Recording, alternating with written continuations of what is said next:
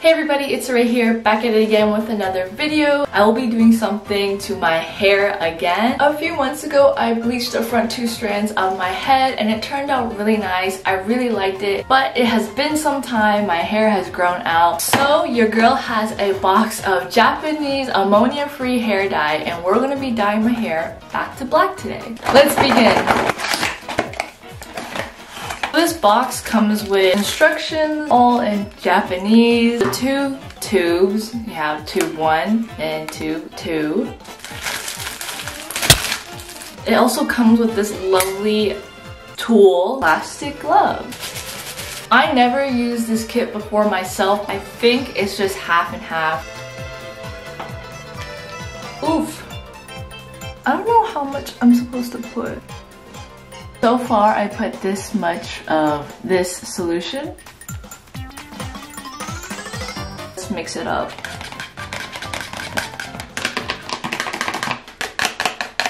I'm not sure if it's still supposed to look like this white creamy color. Um, alrighty, let's do this. Let's dye my hair. Oh gosh. Uh, I don't know how to do this.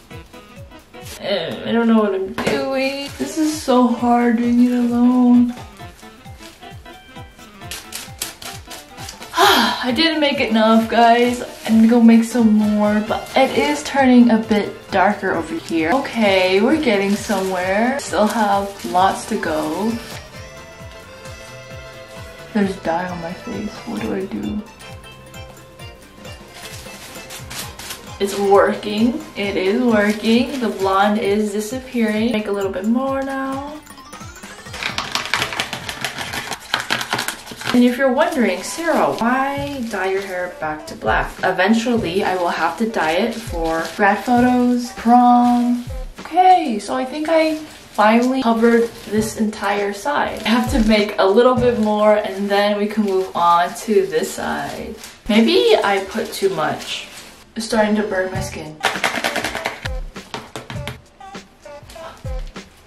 I just literally put it on my face.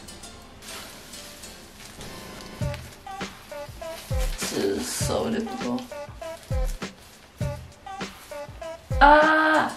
Let go! This is so difficult. Why is this not dyed? Why is this here?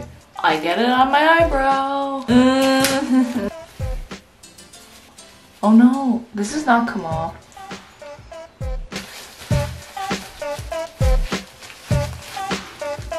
This piece is so stubborn.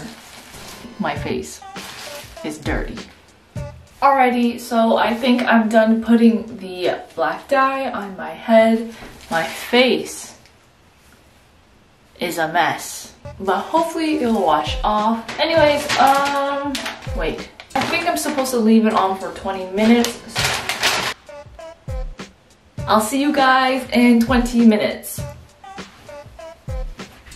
Alrighty, it's been 20 minutes. My hair is really dark. I did spot some patchy areas, so that might be a problem. I'm just gonna take a quick shower and then we can finally see the final results together. Shower time!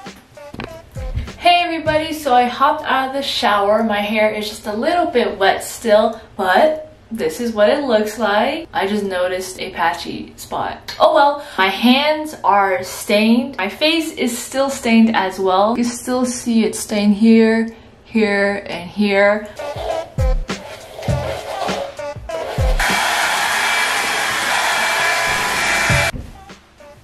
I'm done blow drying my hair. It looks really nice. I added Moroccan oil to make my hair smooth and shiny. I'm super impressed. Literally looks like my natural hair color. It blends in really nice. It just looks really nice. I'm really happy with it. I'm gonna take some photos just to properly show you guys what it looks like.